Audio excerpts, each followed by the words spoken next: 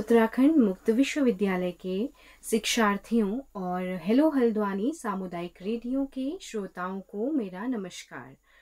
संविधान दिवस के उपलक्ष्य में राजनीति विभाग द्वारा आयोजित रेडियो श्रृंखला के भाग चार में मैं, आरुषि और मेरी साथी डॉक्टर लता जोशी आप सभी श्रोतागणों का स्वागत करते हैं। श्रृंखला के पूर्व भागों में हमने संविधान के बारे में जाना, संविधान दिवस के बारे में जाना, संविधान की विशेषताओं के साथ साथ संविधान निर्माण, संविधान सभा के गठन और संविधान के, निर्माण की जो विकास यात्रा अब तक रही है, उस पर चर्चा की। आज इसी यात्रा को आगे बढ़ाते हुए हम इसमें आगे की कड़ियों को शामिल करेंगे। आप इसी तरीके से हमारे साथ जुड़े रहिए। जैसा कि कल का जो हमारा एपिसोड रहा है एपिसोड थ्री जैसे कि ये रेफरेंस हम इसलिए दे रहे हैं, अगर उन दोनों सभी कड़ियाँ जो हैं आपस में कहीं ना कहीं जुड़ी हुई हैं तो जो हमारा भाग तीन है, हमारी श्रृंखला का, उसमें ये है कि हमने देखा जो संविधान सभा है, संविधान सभा के लिए मैम ने बताया था कि निर्वाचन हुए, निर्वाचन में एक बहुत ही अलग सी, एक विचित्र परिस्थिति उत्पन्न हो गई थी उसमें मुस्लिम लीग ने निर्वाचन में तो भाग लिया और साथ ही वो प्रत्याशी भी चुने गए। किंतु इसी बीच में कैबिनेट के गुट संबंधी खंडों के निर्वाचन के बारे में कांग्रेस और मुस्लिम लीग के बीच में मतभेद हो गए। ब्रिटिश सरकार ने इस प्रक्रम पर हस्तक्षेप किया और लंदन के जो कुछ नेता लोग हैं जो लोग नेता, उन लोगों ने भी मुस्लिम लीग का ही पक्ष सही बताया। इसी प्रकार जैसे जब 9 दिसंबर 1946 में को जब पहली संविधान की बैठक हुई तो उसमें मुस्लिम लीग के जो सदस्य थे, वो उसमें उपस्थित नहीं हुए। 20 फरवरी 1947 को ब्रिटिश सरकार ने एक और घोषणा की कि जून 1948 को भारत से ब्रिटिश शासन समाप्त कर दिया जाएगा व सत्ता भारतीयों को सौंप दी जाएगी। तब तक यदि संविधान सभा संविधान बनाने में असफल रही तो ब्रिटिश सरकार विचार करेगी कि सत्ता हस्तांतरित किया जाए या नहीं। तो इसी के बाद जो है कैबिनेट मिशन योजना के द्वारा संविधान सभा का जो गठन करने का एक प्रारूप तैयार किया गया। हम्म, हाँ रुचि हम देखते हैं कि फिर उसके बाद ना जो आ, सत्ता हस्तांतरण है उसे जल्दी से जल्दी की जाने की बात होने लगी कि, कि हम्म। जल्दी से जल्दी क्या किया जाए भारतीयों को सत्ता दे दी जाए और ब्रिटिश सरकार भी जल्दी से जल्दी इस काम को पूरा कर लेना चाहती थी हम्म। और फिर इससे काफ़ी चीज़ें आगे बढ़ी और इसके बाद क्योंकि उस समय जो दबाव था, जो भारतीय, जो हमारे उस समय जो नेता थे, वो भी लगातार दबाव बना रहे थे। आंतरिक और बाहरी परिस्थितियाँ कुछ इस प्रकार की हो गई थी कि जैसा मैम ने भी बताया कि जो सत्ता का हस्तांतरण था, फिर वो भी जल्द से जल्द हम भारतीयों को सौंप दिया जाने की बात होने लगी। इसके बाद लॉर्ड वाविल की जगह लॉर्ड माउंट बेटन को भारत का गवर्नर जनरल बनाया गया। माउंट बेटन ने कांग्रेस व मुस्लिम लीग के बीच समझौता करवाया और माउंट बेटन योजना के अनुसार पंजाब व बंगाल के समस्या वाले जो प्रांत हैं, उनका विभाजन किया जाएगा। जब मुस्लिम लीग को, जब पाकिस्तान मिलेगा, कांग्रेस को शेष भारत जहाँ पर मुस्लिम अल्पमत थे, वो वाला पार्ट जो है, वो भारत को मिलेगा। भारतीय स्वतंत्रता की अंतिम जो योजना है, उसे यही माउंट बेटन योजना कहा गया। माउंट बेटन योजना, जैसे कि हमारे उस दौरान जो हमारे भारत के गवर्नर जनरल थे, उन्हीं के नाम पर इस योजना का नाम माउंट बेटन योजना कर दिया गया। इसमें विभाजन स्वायत्ता दोनों राष्ट्रों की संप्रभुता, अपना संविधान बनाने के अधिकार शामिल थे। जिसमें जैसे जम्मू और कश्मीर जैसी जो हमारी रियासतें थी, उनको भारत या पाकिस्तान में शामिल होने का भी विकल्प दिया गया। इस योजना के अनुसार, जो हमारी माउंट बेटन योजना है, उसके अनुसार बंगाल और पंजाब की जो विधान सभाएँ हैं, उनके सदस्यों ने बैठक की और विभाजन के लिए भी मतदान किया गया और धार्मिक आधार पर विभाजन का निर्णय लिया गया।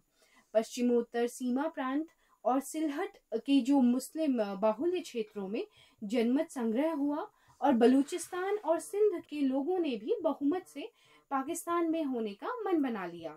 इस तरीके से आपने देखा कि जो अंतिम चरण था एक तरीके से हम कहेंगे तो उसमें माउंट बेटन को गवर्नर जनरल बना दिया गया और जो भी डिस्प्यूट चल रहा था उसको सुलझाने की कोशिश की गई। और फिर उसके बाद हम देखते हैं कि 26 जुलाई 1947 को गवर्नर जनरल ने पाकिस्तान के लिए संविधान बनाने की घोषणा की। और बिल्कुल भी देरी नहीं की गई। बिना देरी किए इस योजना को आधार बनाकर भारत स्वतंत्रता अधिनियम 1947 तैयार किया गया। और बाद में इसे 4 जुलाई को संसद में इसे पेश किया गया और 18 जुलाई को इसे शाही अनुमति मिली। हम्म।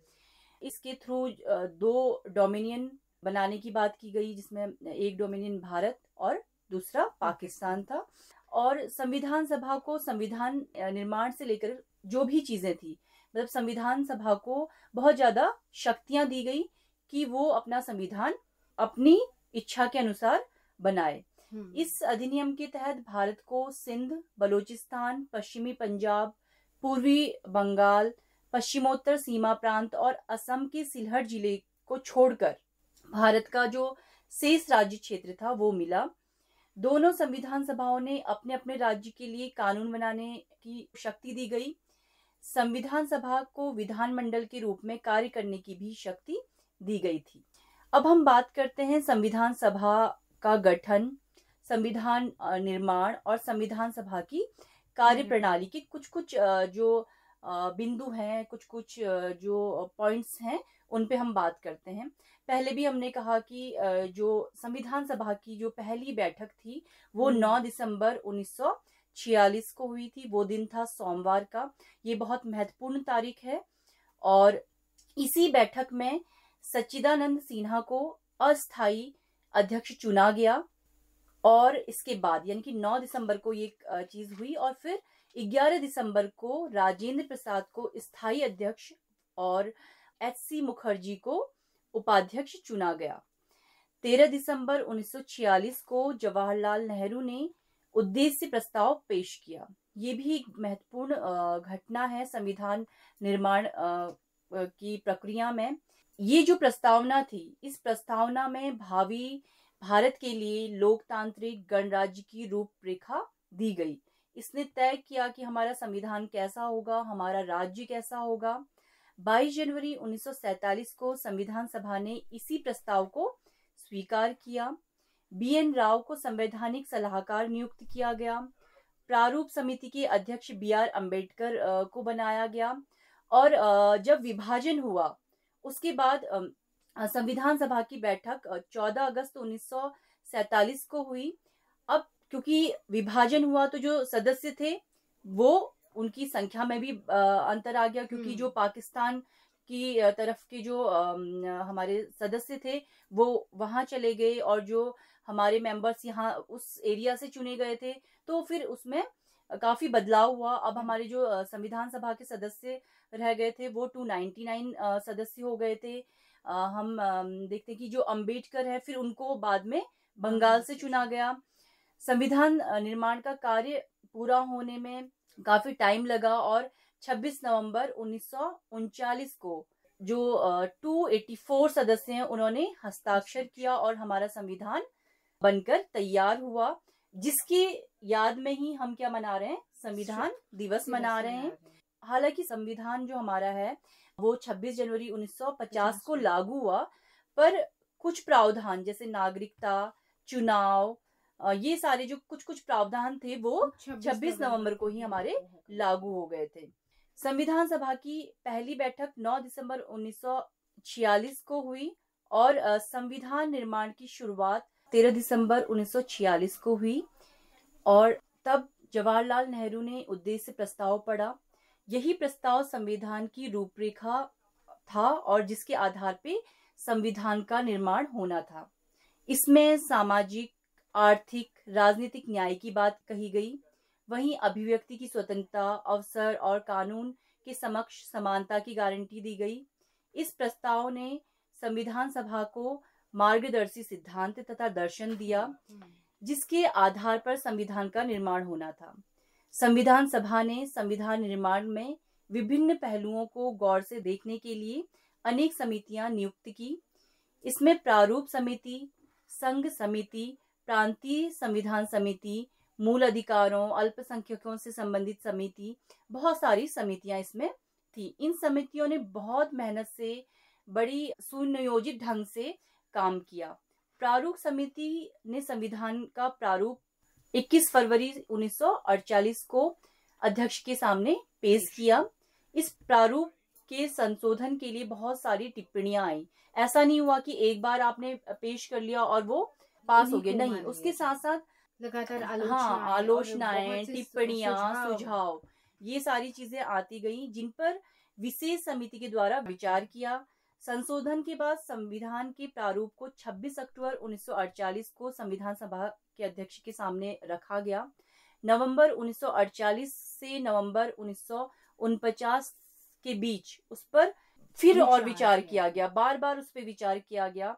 प्रस्तावना सबसे बाद में स्वीकार की गई। 26 हम्म। नवंबर उन्नीस को प्रस्ताव स्वीकार हुआ और 284 सदस्यों ने इस पे हस्ताक्षर किए।